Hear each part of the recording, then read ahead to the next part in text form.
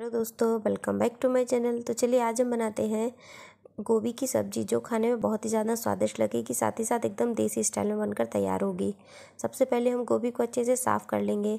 देख लें, गोभी में बहुत ज़्यादा कीड़े होते हैं, इसलिए एकदम गोभी साफ़ होनी चाहिए, अच्छे से देख लें। छोटे छोटे टुकड़े कट करके एक बर्तन में ले लें थोड़ा सा पानी ऐड करें और नमक और हल्दी डालकर इसे उबलने रख दें। नमक और हल्दी डालने से क्या होगा कि गोभी बहुत अच्छे से साफ़ हो जाएगी।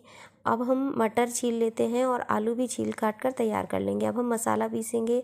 मसाला मैंने सिल पर पीसा है।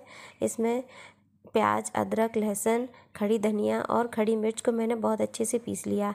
आप लोग मुझे बताइए कि आप लोगों में से कौन कौन पिसे हुए मसाले मतलब हाथ से पिसे हुए मसाले की सब्ज़ी खाता है? क्योंकि हाथ से पिसे हुए मसाले की सब्ज़ी का तो स्वाद ही अलग होता है और मिक्सी से पिसे मसाले की सब्ज़ी का स्वाद अलग होता है। तो आप बताइए, आपको किस मसाले की सब्ज़ी का स्वाद ज़्यादा अच्छा लगता है? अब सब्ज़ी बनाते हैं, कढ़ाई में तेल लेकर जीरा डालेंगे और पिसा हुआ मसाला ऐड कर देंगे। इसमें मैंने खड़ा धनिया और खड़ी मिर्च पहले से ही डाल रखी है तो अब इसमें बेसिक मसालों में सिर्फ़ हल्दी और गरम मसाला नमक डालकर अच्छे से मिला लेंगे। तेल छोड़ने के बाद में इसमें मटर डाल देंगे। मटर हल्की पक जाए, उसके बाद में हम इसमें ऐड कर देंगे आलू। गोभी हमारी उबलने रखी हुई है तो वो आधी वैसे भी पक ही जाएगी।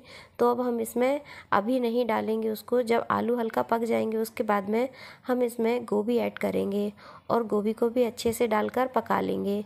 उसके बाद में जब गोभी हमारी अच्छे से मसाला एब्जॉर्ब कर ले उसके बाद में आप चाहें तो इसमें हल्का सा पानी ऐड कर दें फिर एक से डेढ़ टमाटर उसमें डालकर अच्छे से मिला लें। टमाटर पकने के बाद में हरी धनिया से इसको गार्निशिंग करें और ये लीजिए बहुत ही टेस्टी आलू मटर गोभी बनकर तैयार है। ये खाने में बहुत ही ज़्यादा स्वादिष्ट लगती है और आप भी इसे बनाकर एक बार ज़रूर ट्राई करें। एक सिल पर पिसे हुए मसाले की सब्ज़ी ज़रूर बनाएँ और मेरी रेसिपी पसंद आई हो तो मेरे चैनल को लाइक और सब्सक्राइब करना ना भूलें। मिलते हैं नेक्स्ट वीडियो में। Bye bye.